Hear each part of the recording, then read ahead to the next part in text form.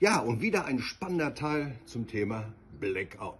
Eigentlich ja Greenout. Aber lassen wir über diese Feinheit nicht diskutieren. Wichtig ist zu begreifen, es hat schon was mit energiepolitischen Entscheidungen zu tun. Und dass das eintreten kann, sagt ja nicht nur ich, sondern mittlerweile auch die Bundesregierung, die die Bundesbürger immer anmahnt, sich vorzubereiten. Sind wir denn vorbereitet?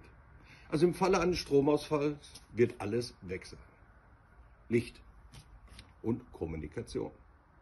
Und das sind die kleinen Sachen. Denn wir haben ja gestern schon gesagt oder in den letzten Tagen gehört, selbst die Klospülung wird nicht funktionieren und ihre Kühlschränke werden nicht laufen. Selbst die Tankstelle und der Lebensmittelmarkt werden geschlossen sein. Aber nehmen wir mal die Checkliste für die ersten Minuten. Der Blackout tritt ein und Sie sollten ja vorbereitet sein auf drei bis sieben Tage.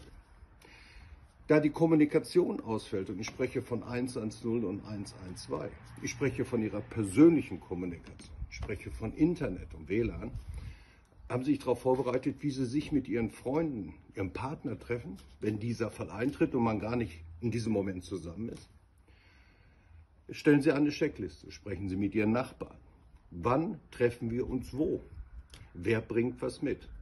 Versuchen Sie sich breit aufzustellen und nicht schmal zu denken. In diesem Falle ist es wirklich gut, gut vorbereitet in diesen Moment zu kommen. Gut vorbereitet in einen Moment zu kommen, den wir uns alle nicht wünschen, aber der rein theoretisch kurz vor der Tür steht.